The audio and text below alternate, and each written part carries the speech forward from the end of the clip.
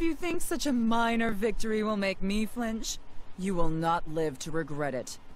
Oh, here we go. We're gonna have a old hag battle versus a sexy lady saddest battle. Shit. Like a bitch in heat. oh! Why are you so greedy about taking another's life away? A bitch in heat! Oh, Jesus Christ! My God! You showed me a lovely sight. So I'll reward you in kind. I think I just have the title for this episode, like a bitch in heat. the perfect title. Oh my God! All right.